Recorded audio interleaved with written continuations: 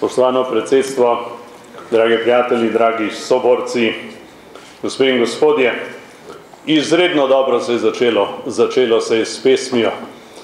Tako smo takrat začenili zdravico od kraja do kraja, od vasi do vasi, dvigali smo pogum in doživeli potrditev za tiste sanje, ki jih je naš narod sanjal najdlje in najmočneje. Dobili smo potrditev za projekt, ki nima primere v naši zgodovini.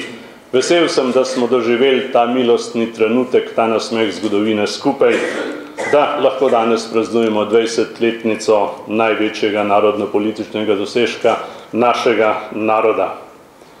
To je bil v naši zgodovini najbolj etično čist, politično čist projekt, Storili smo ga za vse nas, ne za neko opcijo, ne za neko barvo, ne za nek oži interes, za vse nas. V tem je bistvo osamosvojitve, v tem je vrednostna podlaga. Nismo tega storili zato, da bi premagali koga drugega kot tistega, ki nas je napadel. Od takrat naprej živimo v nedeljeni svobodi po letu 45 je veljala svoboda samo za nekatere. In danes sem slišal na spletni klepetalnici, oziroma dobil sem vprašanje, da ne rečem trditev, v času Jugoslavije je bilo boljše. No, jaz sem potem odgovoril, le zakaj ni trajalo še kar naprej, če je bilo tako dobro. In sem se spomnil in tudi povedal, da Jugoslavije niso dokončali demokrati, ker te prilike tudi imeli niso. Z Jugoslavijo so upravili komunisti. Oni se niso mogli zmeniti, kako naprej. In so, mislim, vedeli, da je bila mrtva, predno je Tito umrl. Uh, in spominjam se, da smo stali tisti dan na trgu republike precej sami. Ni bilo tujih državnih delegacij, bilo je nekaj prijateljev iz sosednjih pokrajin, bila sta poslanca Lamasur in Lekije iz francoskega parlamenta, ki sta prinesla prvi dve evropski zastavi. V svet je čakal, kaj se bo zgodilo. In zgodila, zgodilo se je najhujše vojna v srcu Evrope.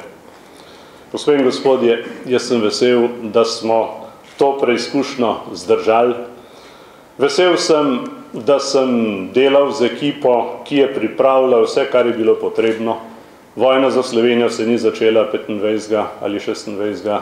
junija, začela se je 16. maja 1990, ko je jugoslovanska armada začela pobirati orožje slovenski teritorijalni obrambi.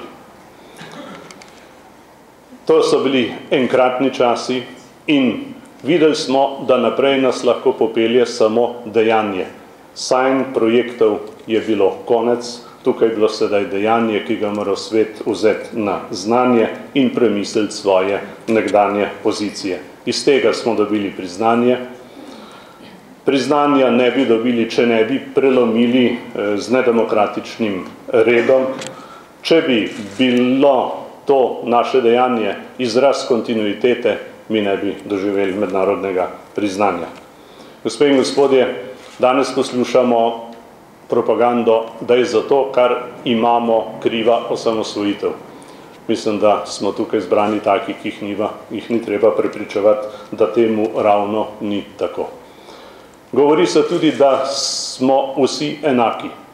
Če bi bili vsi enaki, leta 90 ne bi postavili te države. Postavili smo jo, ker smo bili nekateri drugačni. In možno je bilo izpeljati to dejanje, ker smo dosegli takrat politično večino, ker so nas podprle slovenke in slovenci, ker smo doživeli zaupanje. Tudi to in predvsem to je krepilo našo, naš pogum eh, in našo zavezo. Jaz bi se rad zahvalil vsem slovenskim voljivkam in voljivcem za tisto korajžo, za tisti glas, za plebiscitni glas, za podporo v času vojne, ki nas je poenotila. Rad bi se zahvalil vsem borcem, poslankam in poslancem, članom vlade, ki je bila najbolj enoten del takratne oblasti, za projektno obnašanje, za zavezanost, za korajžo in ko me je, bom končal spet z novinarskim vprašanjem, me je vprašala ena novinarka, če je po 20 letih spet nastopil čas za sanje. Gospe in gospodje, ni časa za stanje, zbuditi se je treba. Čestitka v 20 letih.